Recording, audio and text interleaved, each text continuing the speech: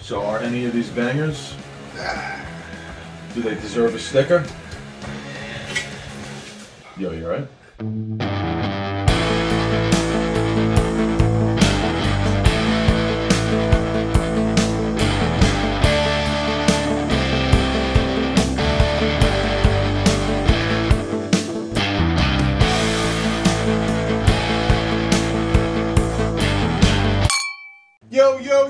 What's up? We're back for another one. I'm your king, the Whiskey King, and this is my jester. Oh!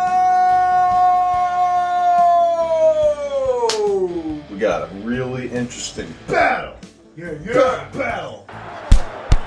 Yeah, it's gonna go at it.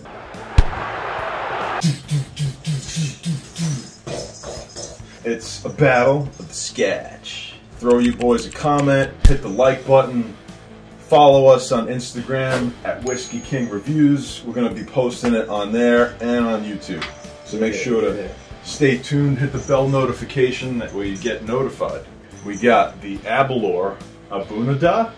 Oh, no, wait. Oh, the uh, Uh, Bunda. Bunada? Let's let the jester do this one. Yo, pronounce that for the audience. Hey, Bunda. That's it. Bunda na da Alright, it's a cask strength Speyside single malt Scotch whiskey. This one is matured in a Spanish Oloroso sherry butt.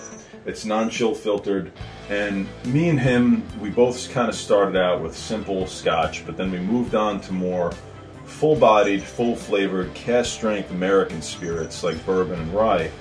And when you revisit Scotch after having that, most of them taste kind of watered down. So if you're the type of person who likes a really full flavored mouth explosion whiskey, then cask strength scotch is definitely your jam. So we're going to be comparing this Aberlour cask strength to the Glenlivet Nadurra and the Oban uh, 21. The Glenlivet Nadurra, that is a uh, cask strength sherry cask as well, so it'll be kind of similar. These two are in similar price point, but I threw this one in just for shits and giggles, because who doesn't want to shit and giggle?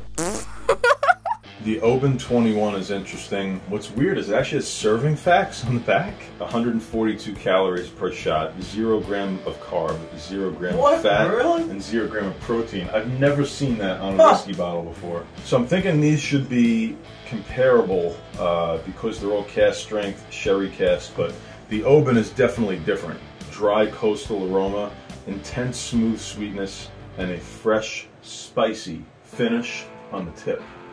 We're gonna do the Abalor first. Cheers. Let's and we'll give ratings all the way through, and we'll tell everybody what we think along the whole way and what our favorite is. With the cigar, I like to see with and without to compare to see how the cigar affects the flavor. Hmm, kind of like a Interesting. steak and a wine. Try the wine on its own, try the steak on its own, and then you go back and try them together. Hmm. See what the difference is. That's why we'll do it that way.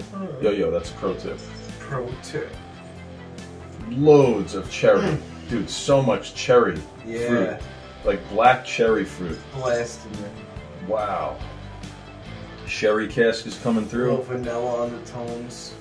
Some spiciness, but limited. Yeah, a little cinnamon. That's a thumbs up on the nose, man. That's a really nice cask finish scotch, bro. Wow. Uh, the finish is still going, too. I know.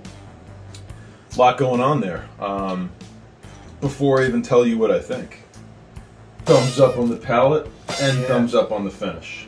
Yeah. A little different than Macallan because this is a lot more towards darker fruit flavors where Macallan could be more like berry. So I get tons of cherry. The sherry cask butt is coming through. Some vanilla, some baking spice, A little cinnamon. beautiful finish. Um, it's really nice.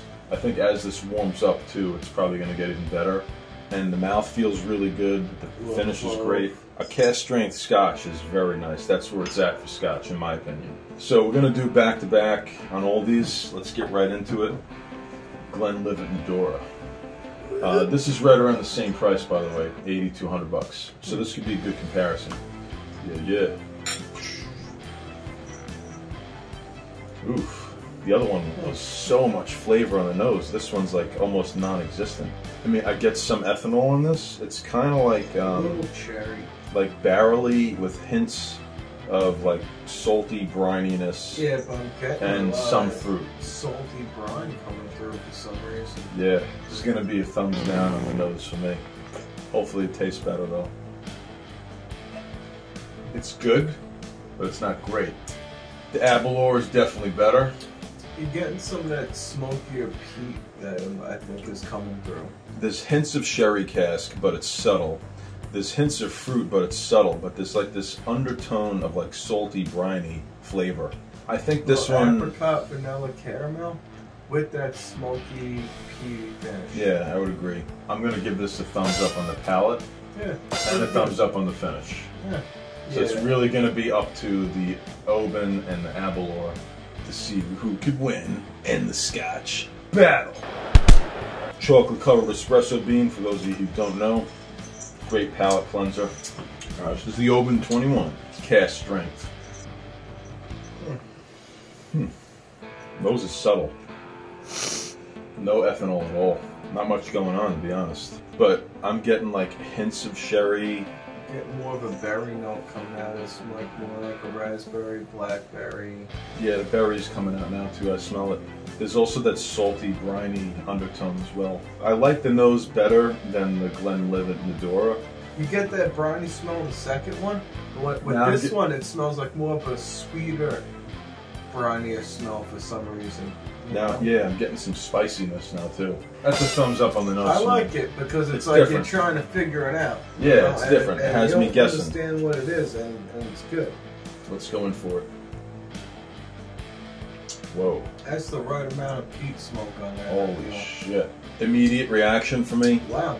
Thumbs, Thumbs up, up. palate, and thumbs up finish. Yeah. Hundred percent. Yeah. Now, I did like the nose better on the Aberlour than this, but the flavor and the smoothness and how the finish kicks in, I'm probably gonna Makes give me it. kind of want to drink a little more. Let me just go back for another. Yeah, let's go back and revisit because there's actually quite a bit going on. Yeah, there's a lot going on. Fruit notes, raspberry, blueberry, strawberry, followed by like this salty, apricot. peaty brininess. Exactly. mixed with like some sherry cask notes I'm getting a little bit, and the finish just keeps going. But there's like this like kind of like coastal sense to it. Smoke in the background. Yeah, with a little hints. It's so interesting to me to see how hmm. different each bottle could be, not from barrel to barrel, but also how the area in which it's produced affects the flavor. This type of drink, this spirit, yo, you right? This spirit is poetry in a bottle. There's so much effort and love that goes into making this stuff, and so many people disregard. Like, this has been sitting in a barrel for 21 years, and now you're finally getting to experience it. It took 21 years to produce that experience of nose, palate, finish. So, are any of these bangers? Do they deserve a sticker? This, I think, just edges it out for me for number one. Yeah. Just edged it out, Slightly. but slightly. And this is a very, very close number two. But if you add price into the situation, Then this is the best bang for your buck, the Aberlour. If money doesn't Yeah. matter, that's a good bottle for the price. go for the Oban. And then this is still good, but it's just slightly different.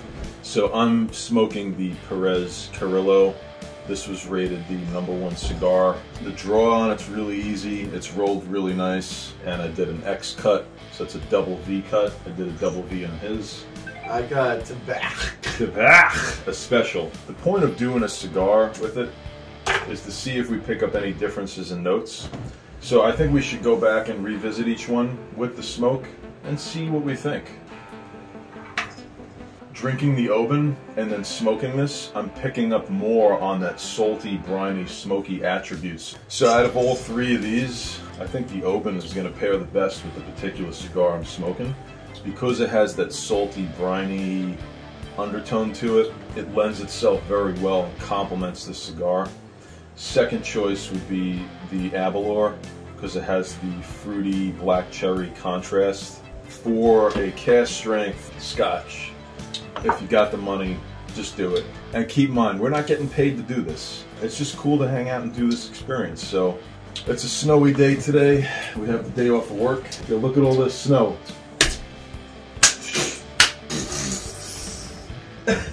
Whiskey King approved. Yeah.